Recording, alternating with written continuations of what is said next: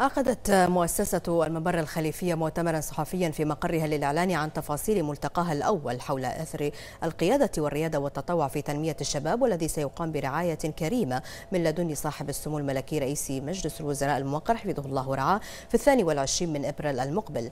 يسعى الملتقى لأن يكون منصة تشارك فيها جميع الأطراف ذات الصلة لمنح الشباب البحريني فرصة للتحدث إلى نماذج ملهمة ومناقشة محاور الملتقى الثلاثة وهي القيادة والريادة وخدمة خدمة المجتمع بما يتوافق مع رؤية مؤسسة المبر الخليفية لخلق جيل بحريني مبادر فعال وقادر على إحداث تغيير إيجابي في المجتمع. هذا وعلى هامش المؤتمر تم استعراض إنجازات مؤسسة المبر الخليفية منذ إطلاقها على صعيد الارتقاء بالمستوى التعليمي بالمملكة حيث تم وفي فترة وجيزة مساعدة 660 شابا وشابة من خلال برامج المؤسسة المتخصصة. أما على مستوى برنامج إثراء الشباب فقد تم إدراج 200 طالب وطالبة حيث يوفر البرنامج تجربة تعليمية فريدة. من نوعها ذلك من خلال أنشطة ذهنية وبدنية تتناسب مع قيم البرنامج السنوية. كما استطاعت المؤسسة استقطاب 50 متطوعا ومتطوعة.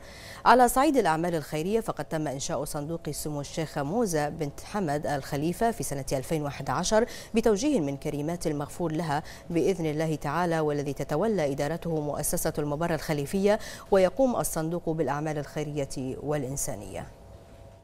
مؤسسة المباراة الخليفية آه، يسعدها أن هي ستقيم بإذن الله آه، ملتقى آه، تحت مسمى أثر القيادة والريادة والتطوع في تنمية الشباب. وهذا الملتقى هو برعاية كريمة من لدن صاحب السمو الملكي الأمير خليفة بن سلمان آل خليفة رئيس مجلس الوزراء الموقر حفظ الله ورعاه. سمو رئيس الوزراء هو الداعم الأول لمؤسسة المباراة الخليفية وتشجيعه وتوجيهاته الدائمة هي يعني آه، آه، هو اللي يقوي مؤسسة المباراة الخليفية ويعطيها الدافع للاستمرار.